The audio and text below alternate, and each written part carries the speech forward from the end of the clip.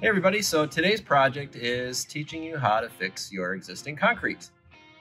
So one thing's for sure, there's a lot of ugly concrete around. Um, perhaps you've got a sidewalk or a patio or a pool deck um, that's been around for a long time and the idea of tearing it out and replacing it just isn't uh, something that's too appealing. So we're gonna teach you today how to use some awesome products from the Phoenix Group uh, to take an existing concrete slab and transform it into a brand new surface.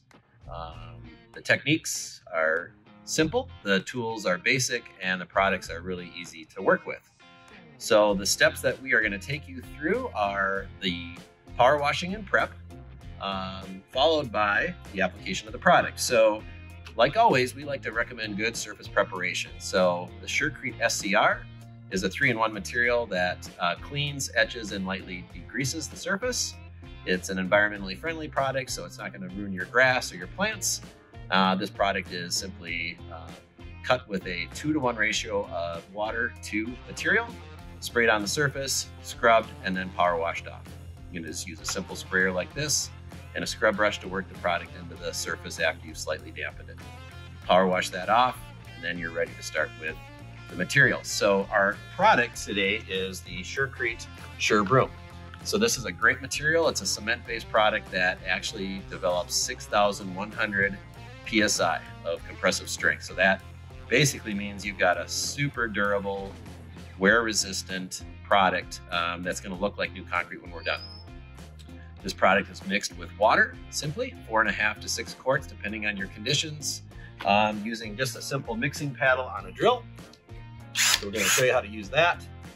The base coat is gonna be put on with this great tool. It's Magic Trowel.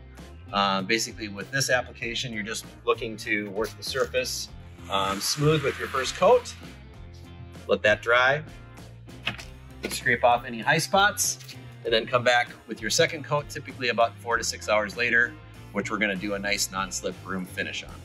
So we're gonna take you through all the steps, so stay tuned and enjoy the video.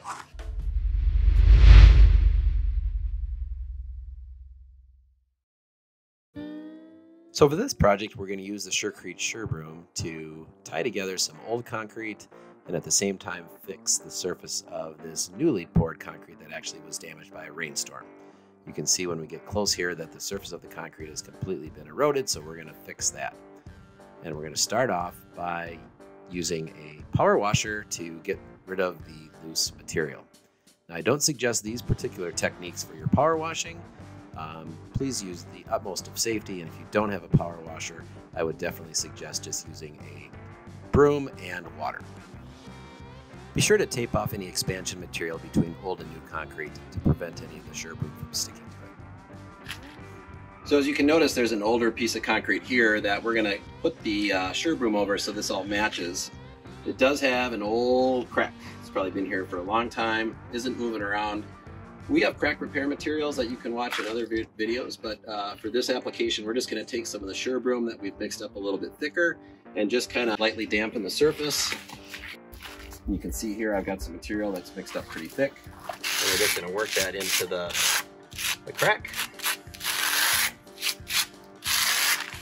You wanna scrape all the extra material off so that doesn't show up with our finish. So now we're ready to mix the base coat of our Broom material. So we're always going to start off by adding water to our mixing bucket first and then add the Broom dry component. For a 50 pound bag, you're going to add between four and a half and six quarts of water. For a 25 pound bag, roughly half of that. So what I like to do is get the water in the bucket, um, add in about half of my dry material, give that a quick spin, and then add the rest of my material in um, mix that for about a minute or two uh, just to make sure it's lump free and uniform. Obviously, with any little extra water that you have with your available material, um, you can lightly top that off and just get it perfect. All right, so we mixed our product for about two minutes and now we've let it sit for a couple more minutes. So at this point now, the material is kind of fully activated and we're ready to just give it a quick spin. And this is a good time to come in and actually scrape down any material that got up on the edges and would dry might come out on the slab and create a little bit of problem for you. So.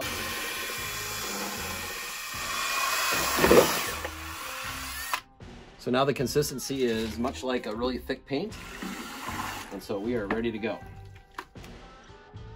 So just prior to putting down your base coat of SureBroom, you want to lightly dampen the surface of the concrete. From that point, you're going to pour a small amount of the material out onto the slab and begin to spread it evenly over the surface with your magic trowel. The key to this is to get a nice, even, consistent coat down as quickly as you can. At all costs, try to avoid getting too much material into any of the joints or pulling it over the edge of the slab.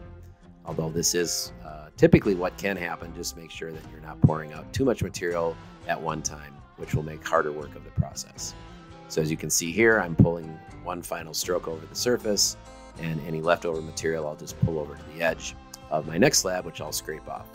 From that point, after I've cleaned that surface off, I lightly dampen the surface and apply more material. And I'm just going kind of slab by slab um, taking my time to make sure that um, I don't get ahead of myself and put too much material down on the slab at once, which again can make for a lot of extra work and cause the material to dry out if you're working in uh, dry, sunny, and windy conditions as I am here.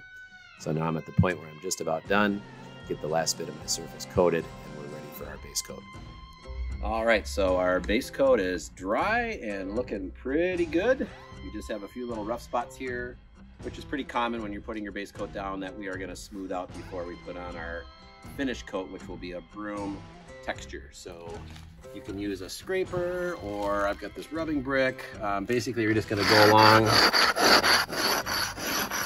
and just rub out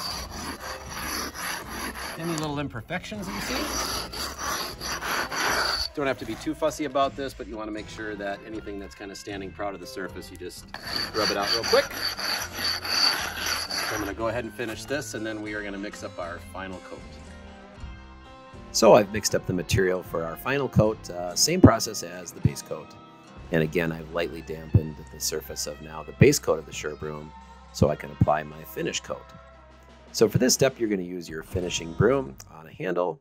And what I like to do is work the uh, material perpendicular to the finished broom orientation that I plan to do to really work it into the surface. From that point, it's just a matter of getting one nice even stroke of the broom over the surface.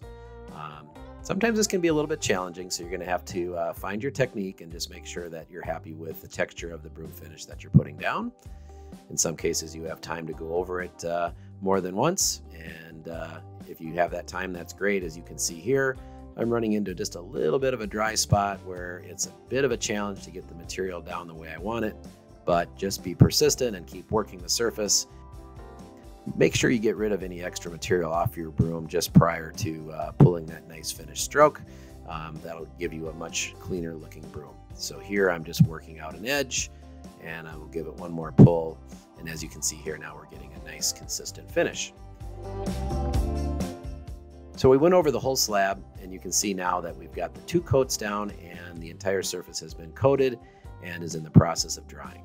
And I also made sure that I cleaned out all of the control joints so there wasn't extra material stuck in those, which would be unattractive and would not hold up over time.